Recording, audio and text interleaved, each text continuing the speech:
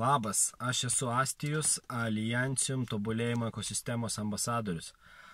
Ir ar tu žinai, kad Alijancium bendruomenėje tu gali gauti viską, ko reikia tavo asmenybės augimui?